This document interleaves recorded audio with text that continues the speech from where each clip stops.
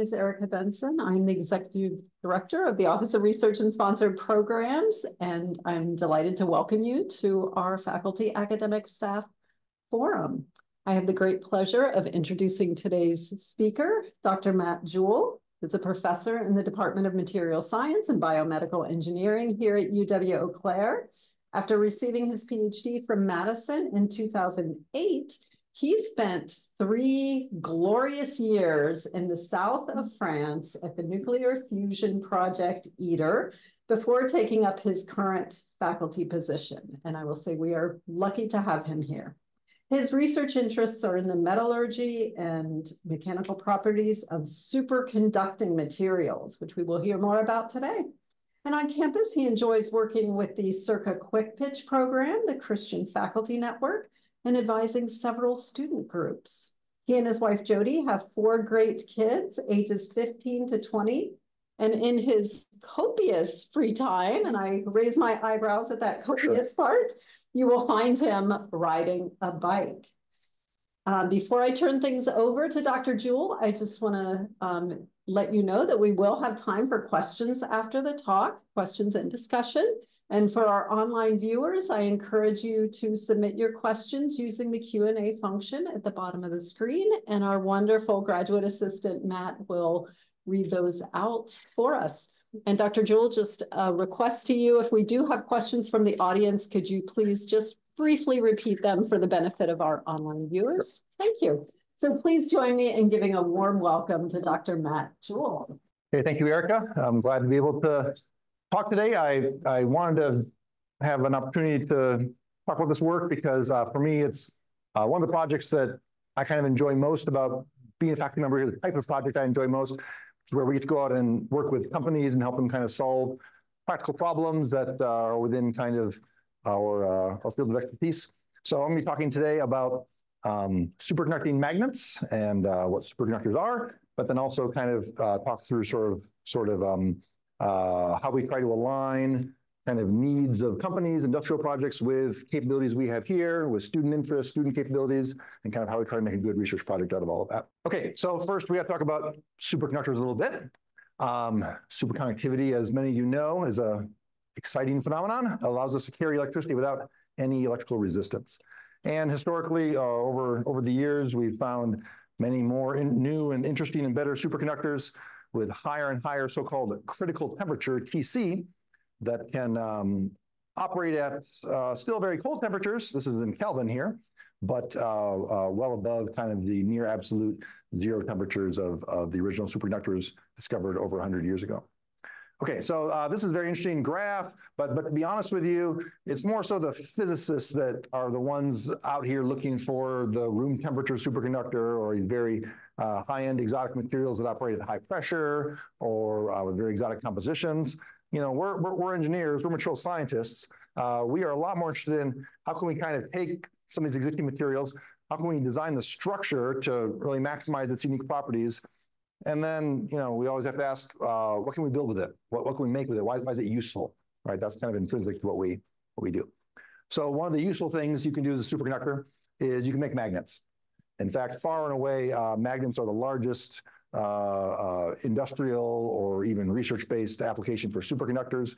We don't really have superconducting transmission lines going across the country for a variety of practical reasons, but we have lots and lots of superconducting magnets including here at UW Claire, not, okay, not, not this model, but uh, we, we have uh, uh an, an NMR, uh, I'm sorry, I, I got to did my copy paste wrong there. Of course, I should say NMR uh, for chemistry medical research. Uh, we have an NMR up on the fourth floor folks all has a superconducting magnet in it. Needs to be fed liquid helium to keep it cold. Uh, Jenny Dahl here will know that that's not a cheap uh, proposition. But uh, if you've had to ever have your head inside an MRI, that large donut around you is also a superconducting magnet.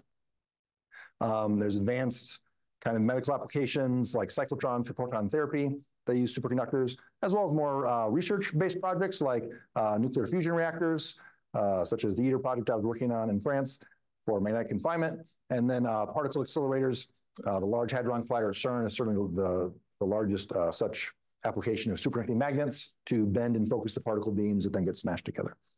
All right, so these are kind of the uh, things we think about. And because we're fundamentally trying to make, make a magnet, there's sort of one eternal driving question we are always thinking about at almost, almost the exclusion of every other question, which is how much electric current can we push through that wire uh, in order to generate as large a field as possible. So, you know, we are not actually so much thinking about how can we make that TC as high as possible. We are much more interested in how can we uh, improve its properties. Now, this is a very busy slide that I'm not going to expect you to fully parse, but I just want to say that as, as the physicists might care more about that critical temperature, we as engineers are much more interested in how much current density can we carry in the wire as a function of magnetic field, because if we're going to make a large magnet out of it, it has to work at those high fields. So this is a just kind of bevy of different um, superconductors. I think what I want you to see is that there's a handful of them that have fairly steep slopes as a function of applied field. And then there's a handful of them that have much shallower slopes. Obviously, we would rather work with these materials that have these shallower slopes that can, can be pushed to higher and higher field without losing too much of their current, uh, current carrying capability. Um, we'll talk about some of the challenges of doing that here in the talk today. So kind of the slightly sarcastic, but but sort of not uh, uh, uh quote from from my PhD advisor was always that you know that uh, new highest ever TC value is going to get you the Nobel Prize, but JC, the current density, that's going to get you a real magnet. So we, we are modest people as uh, as magnet designers, builders, as engineers. We are content to live with that. We'll leave the Nobel Prizes in superconductivity to somebody else. Okay, so let me talk a little bit about my uh, research group here before I get into the kind of main topic today. So I tend to work with a group of sort of four to six students at one time. Uh, we kind of have a variety of uh, techniques we work in for superconducting materials, mostly centered on microscopy, image analysis, AI, mechanical properties. Um, and then we try to sort of uh, apply these to categories we call LTS and HTS. So some superconductors like niobium Ti, niobium tin, uh, they essentially need liquid helium to be cooled, 4 Kelvin. And so we call those low temperature superconductors. Uh, and then we have a few more categories um, which uh, require more like liquid nitrogen. They can operate at 50, 60, 70, 80, 100 Kelvin. And that's, you know, if you, uh, it's maybe not quite tongue in cheek, but we call them high temperature superconductors, just, you know, means relative to these uh, materials require helium. And these are all images and materials that we've worked with here in our group. So we've done some sponsored research with MRI manufacturers to help them um, uh, improve the quality of the niobium titanium that goes into their MRIs. Uh, we've worked with my uh, former organization ITER in France to help understand how their very large cables, this is about a two inch diameter cable that carries 68,000 amps of electricity, how it degrades as a function of magnetic cycling and how to improve it, make it more robust mechanically. Project I'm going to talk about today uh, deals with this complex uh, bismuth-based ceramic oxide called uh, bismuth 2212. I'll come back to that. And then we also work with some manufacturers who make a tape type superconductor called Rebco that, um, that uh, uh, requires an epitaxial growth and therefore has some unique constraints requirements. And we look at a variety of the mechanical properties associated with that. Okay, so we kind of stay busy across the years uh, working on these different suites of things. Of course, what we try to do is take a sort of a common set of techniques and capabilities and then apply them in different different situations. HTS materials, they can work at these higher temperatures uh, and then have these flatter uh, profiles as a function of field. Uh, they actually have sometimes exceptionally high critical fields. Some of them can operate up to 80 or 100 Tesla. And two that are particularly interesting for applications are this bismuth 2212. It's actually bismuth, strontium, calcium, copper oxide. That's a mouthful. So we always just say 2212. And then this um, uh, Rebco, it's uh, one of the classes there is yttrium, barium, copper oxide. We substitute, we do a lot of rare earth substitutions on that first cation. So we tend to call it Rebco. What's very challenging, however, about these so-called HTS materials, uh, especially in contrast to some of those LTS materials that are much better behaved in certain ways, is um, they have very challenging mechanical properties, by which I mean they're brittle. Um, and uh, any large magnet is going to create large Lorentz forces. And so the brittle mechanical properties is a significant challenge there.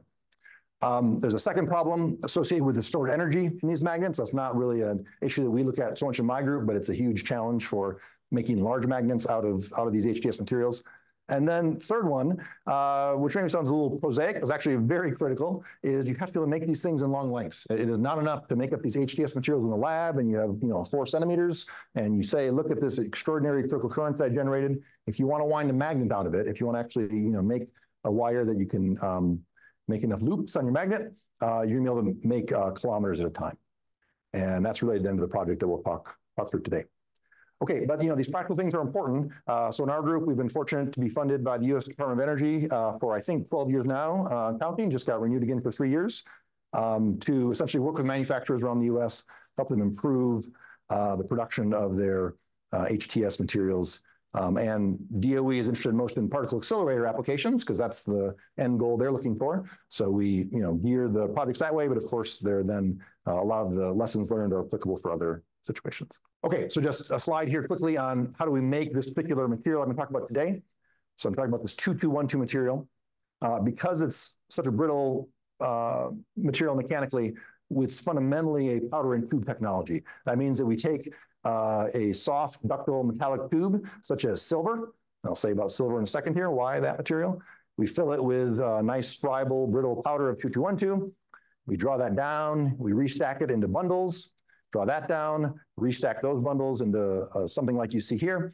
And then we have this nice multi-filamentary wire uh, with, uh, in this case, hundreds, in some other cases, thousands of superconducting filaments. We perform a heat treatment to um, then sinter those together. And in fact, it's even partially melts. So we get a little bit of texturing from the melting. And now we have these continuous elements that are each carrying the supercurrent. All right, so this superconductor working uh, depends on having these small, irregular, brittle powder-based filaments that can now, you know, go along continuously for a kilometer uh, without without breaking. That that is what we are trying to achieve. That is not an easy that is not an easy task. That, that is a large ask. Then we are also making the matrix, uh, the metal matrix here out of silver, uh, because we need that for oxygen diffusion. Very hard to find a material that has the mechanical properties we need and the oxygen diffusion characteristics we need for the heat treatment other than silver. Uh, so that is not cheap. Uh, so then you also, you, you definitely need this material to carry as much current as possible because you want to manufacture as little of it as possible because uh, you don't want to become Fort Knox here. Okay, so that's kind of the context. So we, we now in this project are trying to help a manufacturer improve the sort of homogeneity of those filaments uh, and develop some techniques to help them understand the characterization, how to characterize those filaments so that we can get as much current density out as possible. Okay, so to say a little bit more about that, um, what we've uh, seen, what we've learned uh, is that really in the past kind of six or seven or eight years, there's actually been very little advancement in the current carrying capability of this 2212 material. Uh, and that's really because, make a complicated story short, it's a very complicated combination of architecture, the characteristics of powder, the billet processing, the heat treatment, all those things and you know you get a good billet, a bad billet. It's not so easy to sort of suss out, to pull out which variable is really contributing to that. Um, so part of the goal of this project is to help us um, do that, develop techniques to let us separate these variables and figure out which ones are most important. All right, second, it's also um, not entirely clear, but interesting to note that uh, you know this idea of filament homogeneity, how uniform are these filaments? There is some evidence that they are actually really important for this overall performance JC. Uh, here are two different uh, 2212 powder manufacturers, nGimat and Nexans. This um, y-axis, relative standard deviation, this is the spread in the JC performance. So this Nexans uh, wire, which uh, had in general poor powder characteristics, wide variety of particle sizes, all of that, has a much greater spread in its JC values than does, does the nGimat. And you can see at least at low field, uh, even the nGimat is well above a more well-behaved, low-temperature material like niobium titanium. So as you get to high field, the niobium Ti JC gets very low. So then uh, essentially this bumps up because of the size of the denominator. But um, at, at, low field, you can see we still have a long way to go, right? The It's kind of a factor two or more um, probably that we could improve if we knew, if we uh, could improve the manufacturing. So that's just to say we think there's real you know, promise here. Okay, so here's our approach. Um, what we're doing is we're taking uh, green wire, so that's 2212 wire in its final size, but before it's been heat treated. And we are going to characterize the filament homogeneity uh, of the overall pack, of the bundles, and of individual filaments um, as a function of many variables, but I'll talk mostly today about uh, the size or the area of those filaments and their circularity, uh, their shape essentially. And we do this through a uh, uh, um, sequential polishing process where we, we image it we grind and polish and put it back on the microscope. image it again, do that again and again, and then through some clever image analysis techniques that the students developed in the group, uh, we can actually see how individual filaments are morphing and changing along the length. All right, and you might say, well, look, you're only grinding a millimeter at a time here. That doesn't seem like you're going, you know, very far. How much are the filaments really changing? But keep in mind, these filaments are 10 or 15 or 20 microns in diameter. So if you think about an L over D ratio, we're doing something like an L over D of 100. So for an individual filament, that is a long length for the filament. Um, and now we're looking over several, several of those to kind of see how it's uh, varying. And then um, for whatever parameter we're interested in, whether that's area, circularity, other things, we calculate the coefficient of variation, which is the standard deviation in that parameter divided by the average. And we're kind of using that as our primary performance metric. So higher COV values would be bad, lower COV values would be good.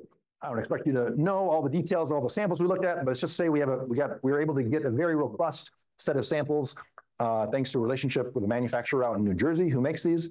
So several different architectures. You can see different numbers of filaments and bundles in the cross section. That's important. Uh, different powder suppliers inside those materials. Uh, some size variation in the diameter, not as much. Then we do a short, uh, we call pre-densification, just a little heat treatment to make sure that those powders are uh, densified, consolidated, and we'll get good, uh, good metallography on them.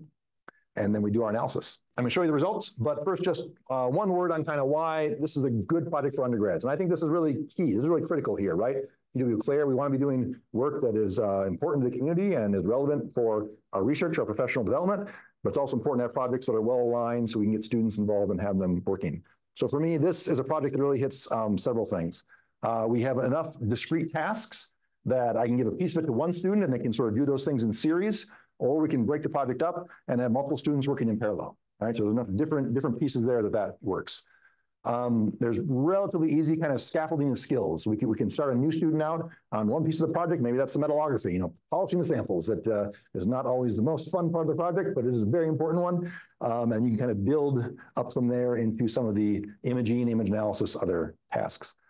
I also think this is a really great project because it really sort of takes all these pieces that we think of in the typical kind of, you know, scientific process. Or if you think about going to grad school someday, it's got a significant experimental component. There's an analytical component. There's some computational needs. You can really kind of start to diversify your skill set and, and show how you grow in those different areas as a, a student. And then, you know, I, I, really try to pick projects that where I don't have a full necessarily map in my head of where the project's going to go. So in this case, in particular, as it relates to, you know, how are we going to identify and track these filaments? Uh, I, I, didn't have an obvious solution there, right? So I, I gave that to the students. I said, we're, we're going to, you know, figure this out. And a couple of students in particular really uh, took that on and made some significant intellectual contributions to help solve that. Um, and so that's helped. And then also important for student project, plenty of samples for us to look at. No, no shortage of work. So uh, there's always, always a sample to be um, analyzed or, or polished or imaged. So let me try to say a little bit what we found. Um, so what we did is looking across this set of 12 samples. So the 12 dots here are the 12 different samples we looked at. We plotted them as a function of their average filament size.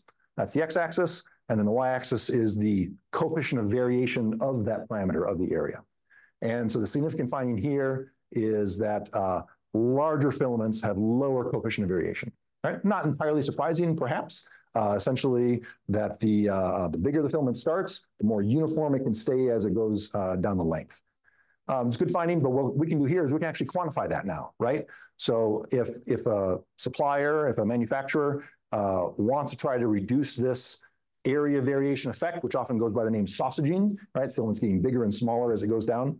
If they want to reduce the sausaging, uh, uh, they can we can actually now quantify for them how much of an improvement it's going to have.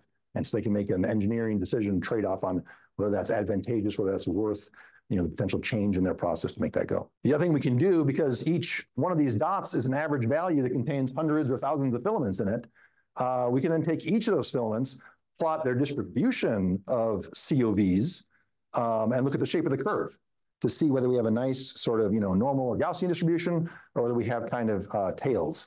And you can also then uh, quantify the skew. Skew is a kind of uh, statistical parameter that we can generate off of these. But um, yeah, I think you can see visually the materials, the wires made with this nGimat powder. This is, you know, not quite a symmetrical distribution, but it's getting pretty close. Whereas this Nexans uh, definitely has more of a tail out here to the high end. And that's, that's the bad tail we want to avoid high COV again is bad. That means a lot of filament sausaging. These are filaments that are basically going to drop out. they're not going to be participating uh, very well in carrying supercurrent. Uh, we're not getting good bang for our buck from those.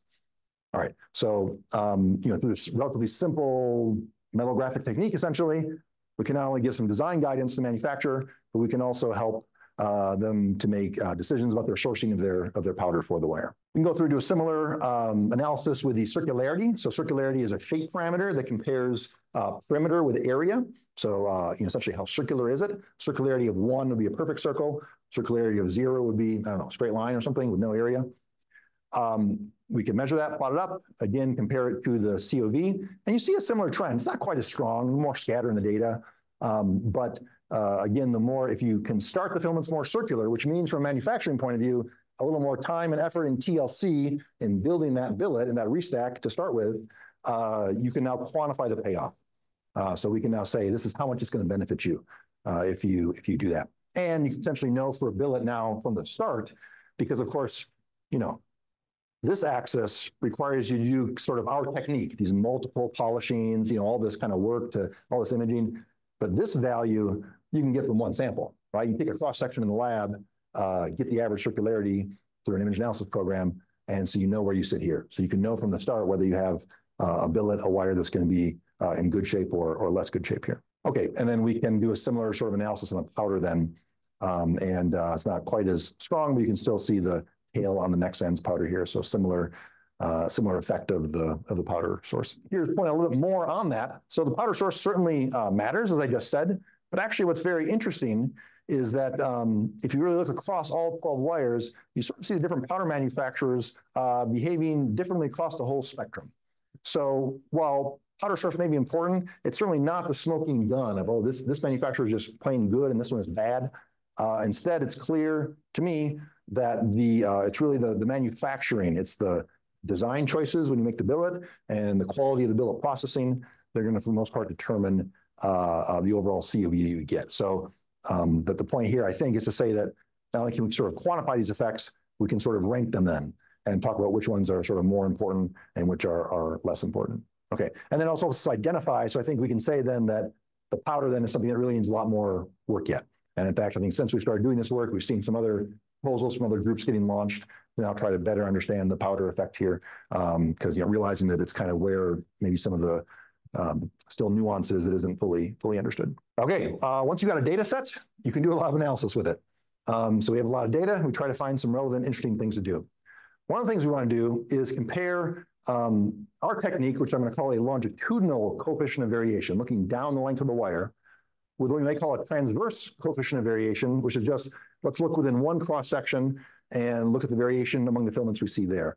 And again, this gets back to sort of we developed this technique, but it's a pretty time intensive technique. So if we want to sort of have other people doing it, we want to try to simplify it to the extent possible. So here we're trying to show, you know, if all you're able to do is take one single cross section uh, in transverse, what, what can you know or guess or intuit about the longitudinal variation? And um, so here we're again plotting areas and circularities, but now we're plotting the transverse COV against the longitudinal COV. And you see for area, there's quite good uh, matching, quite good agreement, uh, good correlation between those two variables. The sort of uh, darker gray box here is the 95% confidence interval on the slope of that line. So, you know, we have we have strong confidence that uh, there, there, there's a genuine relationship here between these two variables, which means that, again, if you now can just do this simpler characterization on the transverse COV, uh, you can learn something or intuit something about what's happening longitudinally. For uh, circularity, there's less uh, less of a good match. You can see there's a lot of uh, scatter there. Okay, then the last thing uh, we did is um, I told you that this 2212 material is sort of more advanced, newer material, you know, higher properties, uh, future application, but we're not really making magnets with it yet. It's, it's still under development. Um, but we do have some materials out there in the LTS region where we do make lots and lots of magnets out of them, and there are not kilograms, but tons, and not just kilometers, but thousands of kilometers, I guess, uh, every year of material made. I was trying to think what's bigger than kilo. Mega, me, megameters? That sounds strange. Okay, so we said, you know what, let's let's compare our samples with something that's more established, something that we know has a relatively mature manufacturing process. And so we went back and grabbed uh, LTS material, uh, 310. This is also a powder and tube type material. Uh, some some details or nuances here. The The layer that's going to be the superconductor is the ring. It's the annulus around the powder core, um, but but still has sort of the similar geometry. Let's say a little bit larger filaments as well, but overall a good comparison. And to kind of cut to the chase on it, um, if you compare, so I have uh, um, circularities in blue and areas in red here. So if you compare, uh, let's take the red first, the niobium tin compared to the 2212, again, remember high COV is bad. So the niobium tin has lower coefficients of variation by at least a factor two, maybe factor three, right?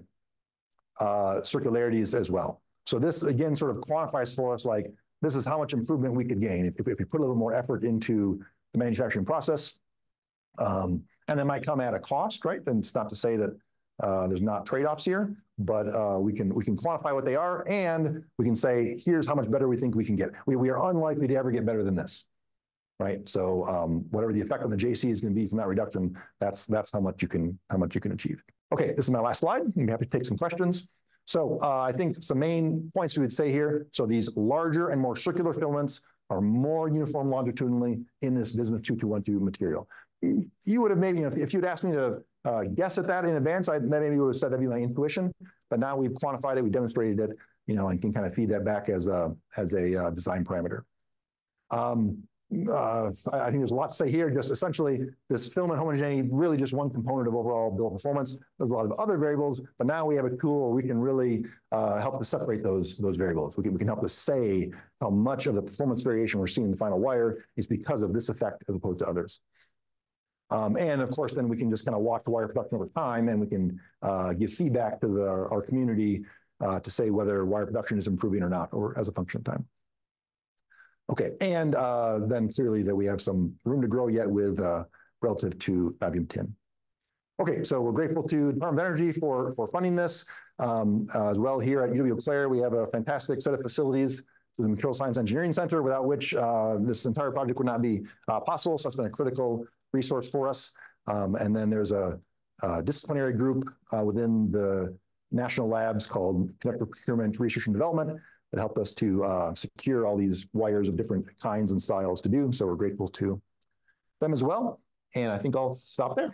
You mentioned, um, I think, AI as one of the techniques that you're using. So I'm curious about where that plays into the uh, Yeah, uh, Karen asked about AI. So this particular project is relatively well behaved in that, by which I mean, we can, with fairly traditional image analysis techniques, we can threshold these images into black and white, you know, white is the filament, black is the matrix. And so this project really doesn't sort of need AI. It's not to say you couldn't do it, but 2212, I think I have a picture earlier. This is the green wire before heat treatment. Once you heat treat it, this is not very large resolution. Once you heat treat it, these filaments start to grow together. And that is also a source of variation in their performance. And so we do have a parallel project going on, I'm just not talking about today, where we have developed a deep learning model to sort of quantify that extent of filament joining in the 2212. So that again, instead of just sort of looking at it and saying, mm, that looks bad, mm, that one looks better, we can say sort of how, how good or bad it is, and then compare it to all these other parameters. Uh, so that's more, this is the sort of thing that, uh, I'm looking at my students, have, any of you had uh, color 2212 filaments for joining? Isabella has. Okay, that, that is a, can be a very tedious task.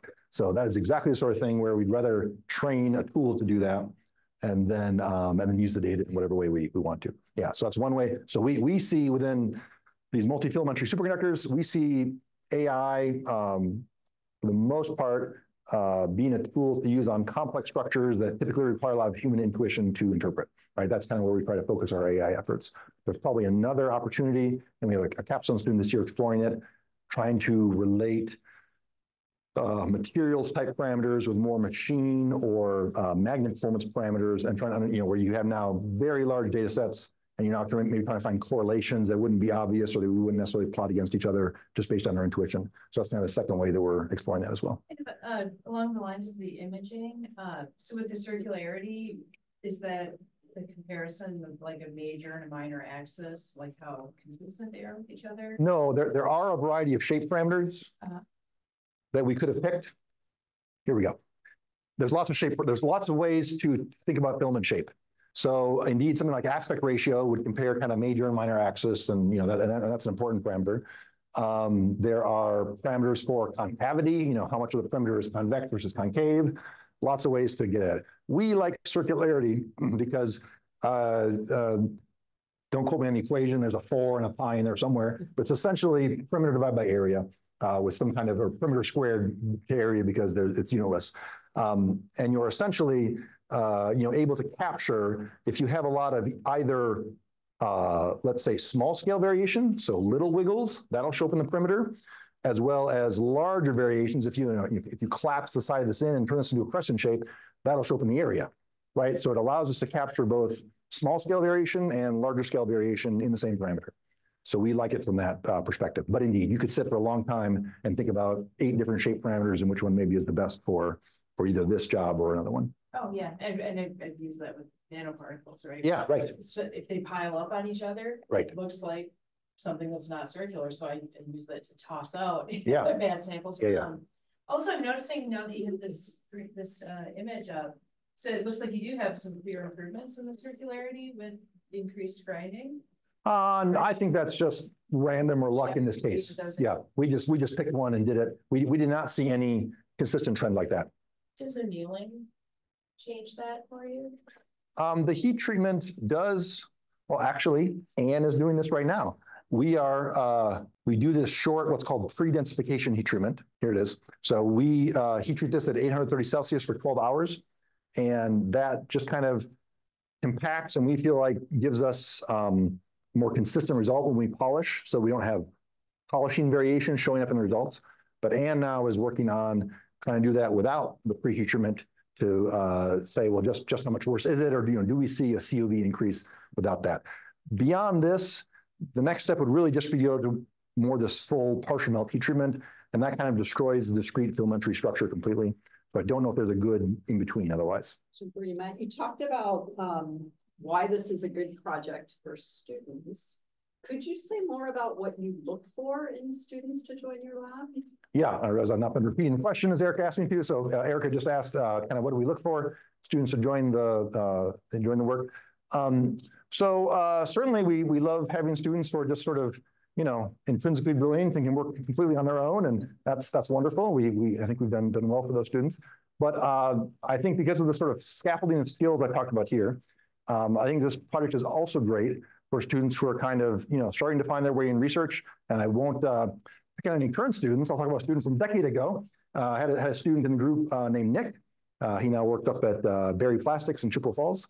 And, um, you know, he, I don't think you'd mind me saying, when, when he, when he started as a freshman, he maybe would not have struck you as this is our top student in the program and, you know, um, uh, whatever. But, but, you know, Nick really through getting involved in the research, you know, I think, I think the research helped him to start to organize his thinking about how to do projects, how to do work, right? What kind of tasks are helpful and necessary. And so I feel like there's enough structure in these projects that um, uh, it can also help students kind of build that uh, for themselves. So really at the end of the day, you, you just got to want to do the work. You, you have to want, you, you have to enjoy it. You have to want to get in the lab and be curious.